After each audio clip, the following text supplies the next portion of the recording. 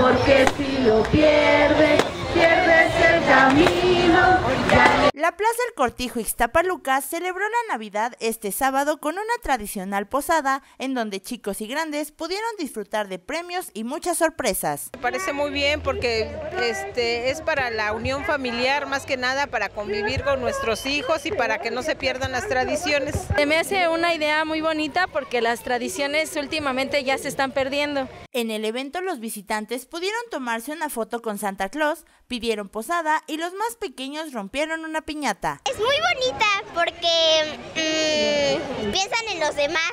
Es muy padre porque pues luego no hacen eventos y pues que vengas así de la nada y te encuentres estos eventos es muy padre.